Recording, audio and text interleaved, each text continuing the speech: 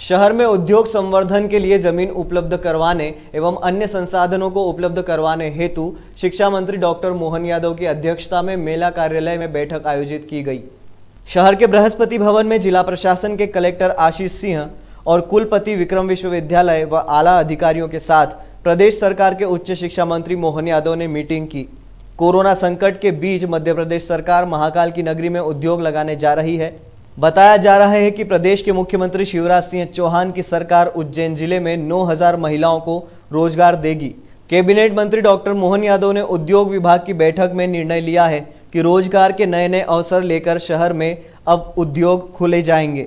मुख्यमंत्री शिवराज सिंह चौहान इस मामले में गंभीर हैं। उन्होंने रेडीमेड का बड़ा उद्योग लगाने के प्रयास की बात भी कही, जिसमें 9000 महिलाओं को रोज़गार मिलेगा।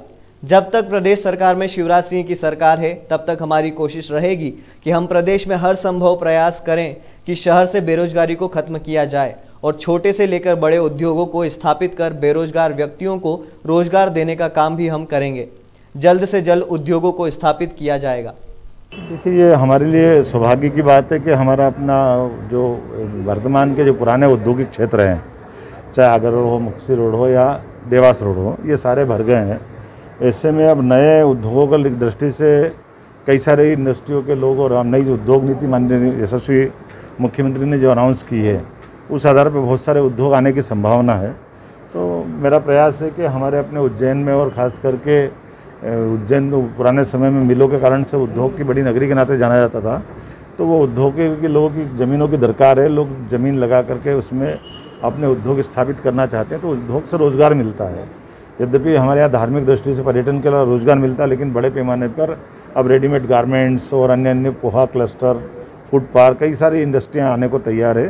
तो उस दृष्टि से जो इंडस्ट्री के दोनों विभाग एमएसएमई और mega industry heavy industry ministry दोनों के अधिकारियों को बिठा करके और कलेक्टर के साथ तालमेल करके हमने कोशिश की है कि हमारे यहाँ वो ज़मीन आरक्षित करके विभाग को दिलवा दी जाए, ताकि उद्योग विभाग अपनी कार्रवाई करे, जिसके माध्यम से उद्योग लगाए जा सके।